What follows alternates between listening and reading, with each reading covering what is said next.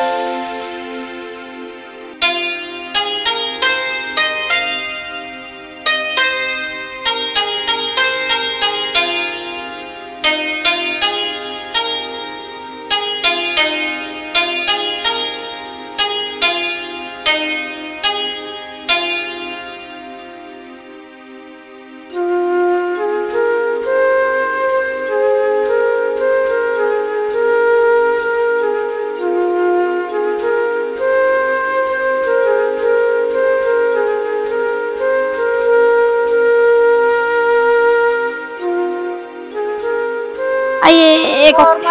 त्यस्तो हिँड्ने गाडीमा हिँड्ने बानीले अलि उकालो हिँड्ने अलिक बाबाले र खत्रक्कै पो हुन्छ त कम त गलिन्छ त यहाँ हेर न यहाँ हेर त। बुहारी बुहानी बजारमा बसेर हिँडेको बानी बिर्सेछ कि क्या हो? हिँड्ने बिर्से बुवा हे, सिस्नो हेर्नु त आमा कति राम्रो रहेछ अहिले टिपेर लगाउनु जस्तो पो भयो त हो भरे टिप्न आउनुपर्छ त्यहाँ गाउँघरमा त पाइन्छ पाइन्छ। खप्ला खुप्लो त्यस्तो केही छैन जस्तो गरेर गइयो के अरे पोका बोकेर म त सक्दिनँ टिप्न आउन अहिले यत्रो उकालो चढेर गलेर लथ्रक्क परे बेलामा। दुःख पायो नि बुहारी दुःख पायो। के गर्ने हो? टिपेर सिस्नो घर लगिदिने भने सप्पा सप्पो पकाएर खाने तिमी छ हौ। पहिले नै दुःख गरेर बसेको यो कति राम्रो फुल्दो रहेछ है यो चाहिँ आमा के फुल? सुनेर म गएको नि आमा। अब कोहीहरू त्यत्रो त्यत्रो कमाउँछन् केही हुन देउरानी हिँड भने। बनाउनु चाहिँ नमिठो बनाउने। बुहारीले भनेर म बुढी पनि उठेर राम्ररी चलेर गएँ। अहिले यही पाखोमा होइन तपाईँहरूलाई चाहिँ के हो राम्ररी बाटो बाटोमा गन्थन गर्दै हिँड्नु पर्ने सुई सुई हिँड्नु न आफ्नो बाटो। रहेछ त बस्नु के हो यो पौवा हो नराम्रो लाग्छ नि त। अब यो चौतारीमा एकछिन बसौँ। बुहारी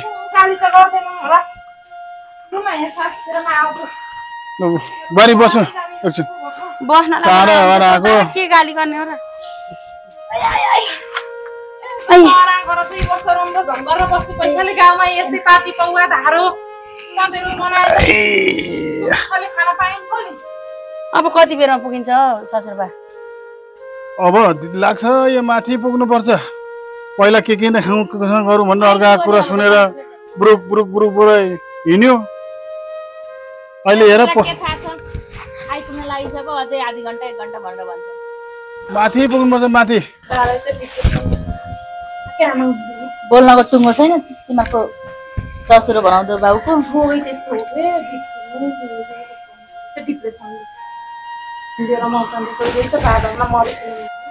ए देउरानी अबासी नबोल न बल्ल गाउँ आएका छौँ के मर्ने र बाँच्ने कुरा गरिरहेको त्यस्तो हुन्छ अरे भनेको मरिहाल्नु त कहाँ भनेको हो र? अब यस्तो हुन्छ अरे डिप्रेसनले भनेको अब कोही कोही त झुन्डेरै मर्छ। कति साह्रो यहाँनिर गर्मी भएको कि के भएको? मसला के भएको त्यस्तो? ए मसला लाग्यो के? कान्छी त्यता त देउरानी साह्रो यता बस्नु यता पर्यो पनि उयो त हो नि। मसला त सबै। जुरुक औषधि जुरुक खाए नि बालाई पच्चिस आइया। रोजको काम गरेन। बालाई चाहिँ अब तिस पैँतिस रोजको चाहियो के? के गर्नु। अँ, जुरुक यता जुरुक डक्टरले जुरुक के फेरि- किन गरौँ कसो त गरौँ अँ। जाउँ भन्न थाले गएको।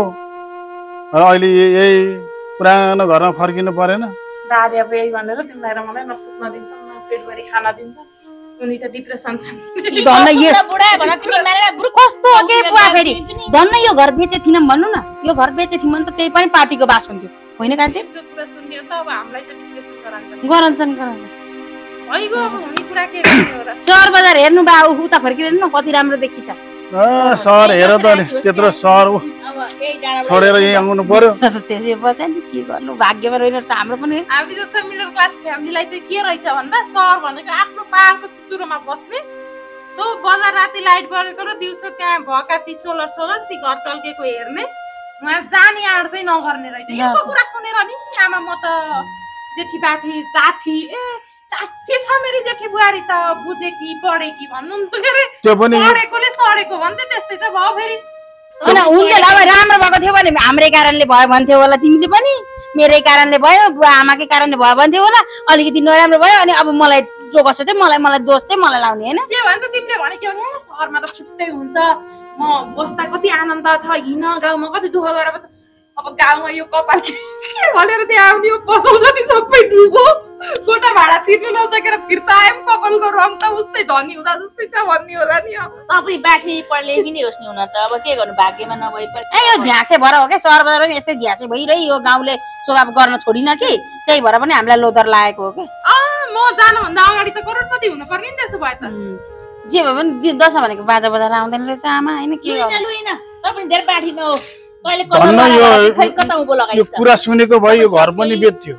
सबै मेन त टिक्क परेर चाहिँ ल्याएको थियो हुँदैन जोडेर यो कलरलाई दोष लाउँदैछन् अहिले आएर हेर्नु त बुवा मेरै पैसाले गरे हो त नभएर घरको पैसाले यसको पैसा पहिले कमाएकोले गरे नामा यस्तो कपाल लिएर हिँड्दा बुहारीले खै के भन्छन् भोलि पन्ध्र जाँदा मेला जाँदा कालो लाउँछ होला नि त इभो लगाएको छ नलाउने रे पैँचालिस सय तिरी किरे कालो नलाउने कालो कपालमा सेतो रङ लागेको छ नक्कल परेको छ के के नगरेर पैसा कमाएको ठुलो गरेको फेरि एक करोड पेल्ने हो क्या फेरि सबैतिर पहिला सपोर्ट गर्ने त कोही पनि रहेन रहेछ नि त।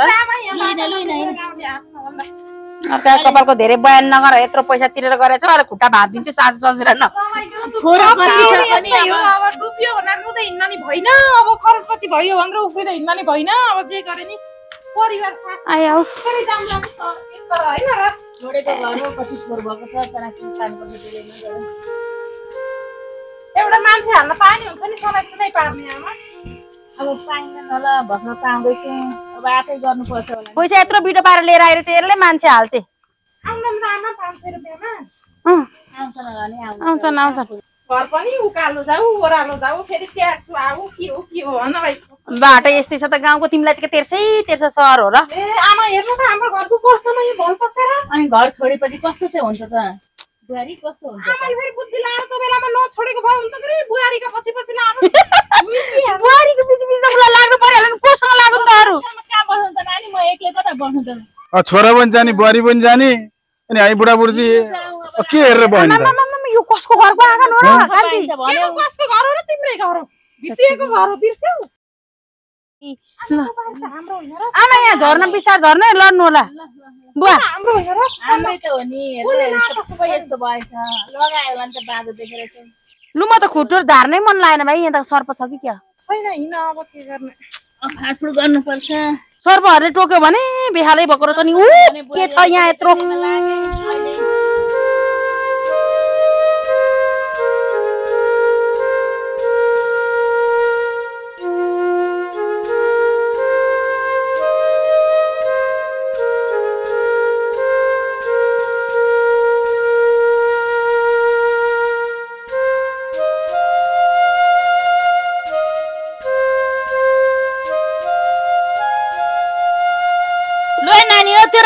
बुहारी झोला झोला राख, राख्नु, कान्छी चाहिँ के राम्रै उ। गरेकी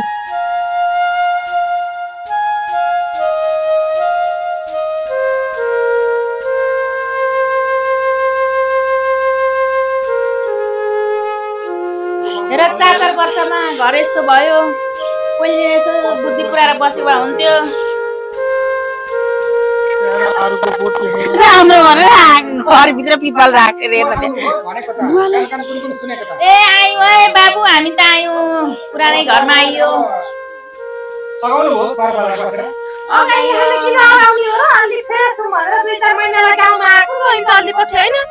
जाने हो हाम्रोमा बन्दोबस्त छ त्यही भएर भन्नु नमिल्ने नमस्ते अब घर आफ्नै घर हो नमस्ते दाई यत्रो वर्ष बस्नुभयो। मैले त उहिले त नजानु त भनेकै हो नि अब ए नगर कुरा नगर अब मान्नु भएन टेर्नु भएन। गएर नि केही बिग्रेको छैन आमा बा घुमेर आउनुभयो हामी नि बसेर आयौँ अब। तै पनि त अब यसो यत्रो घरको यत्रो लाथलिङ्गे आफ्नो भयो स्याहार पुर्ख्यौली भयो घर घरको। पुर्ख्यौली बारी सम्पत्ति हामीले छँदैछ। वहीँ सहरमै घर ठडाउने विचार गरेछौँ यसको र फरक पर्दैन। अब छ महिना बस्छौँ होइन त दिदी? छ महिना बस्छौँ के त्यही गर्नलाई त हामीले यो घरलाई छोडेको यत्तिकै फेरि यो बाउलाई चाहिँ हान न हौ किने गरी त्यहाँ कस्तो खालको बानी छ भने नि कुरा पर्ने होला। सुन्छौँ अनि गएर अन्त कुरा काट्छौँ बालाई नबोल्ने भन्नु यसो आँखाको इसारा गर्ने तपाईँ चाहिँ के हाम्रो बा भिना जुसुलाई सिकाएको यो सबै किरामिराको डर हुन्छ हिँड्दाखेरि उखेल्नु खुरुखुरु यतातिरको पहिले अलिअलि किन आँखा खिचेको साह्रो फुपूको साइनो लाग्छ नि त खुब ए साइन लाएर के फरक पर्छ त? हाम्रो बाबुआमा त्यस्तै छन् फेरि।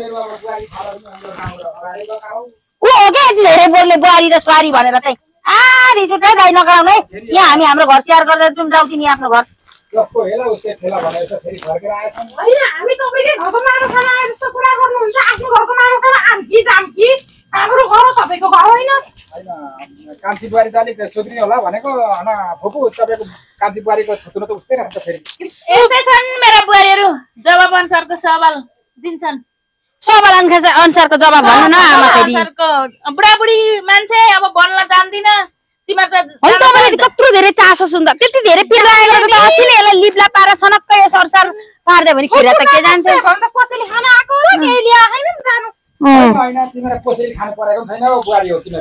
त्यति गर्दै भए त खेर जाने थिएन अहिले किन नाटक देखाउने फेरि आमैलाई चाहिँ हेर न बसी बसी भने उखाल्नु पनि। बसी बसी भने उखाल्नु है आमा। तपाईँ पनि अति नगर्नु न। हाम्रो पनि त हात दुख्छ। के हात लाउनु? मिउरी गलेर गाड भात चिन्नु गलेर थाकेर आएका छन् बाबु भरे भुइँतिर आएर गफ गर्नु। बुझ्ना के कुरा रिसाउँछन् अहिले उ गलेर थाकेर आएका छन्। कुरै बुझ्नुहुन्न फेरि बुवा आमा आमा फेरि जसलाई पनि है हामी सहरमा डुब्यौँ हाम्रो केही छैन हामी रोडमा मैले भन्नु किन भन्नु पर्यो यो बुढोको त दिमाग त कहाँ छ? सहरमा डुब्यौँ कोनी के गर्यौँ? किन भनिराख्नु अब भएको कुरा किन ढाट्ने बुहारी? भएको कुरै। भन्दैमा चाहिँ तपाईँ चाहिँ आउने बित्तिकै जसलाई पाए त्यसले चाहिँ किन सुनाउनु पर्छ गाउँभरि फिजाउँछन् पुरा रेडियो नेपालले जस्तै। भोलि कुल्किन्छन् फेरि दुनियाँ।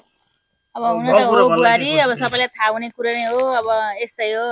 केही हुन्छ कि भनेर गइयो भएन केही पनि अब आफ्नो धन्न घर थियो र आइयो फर्केर।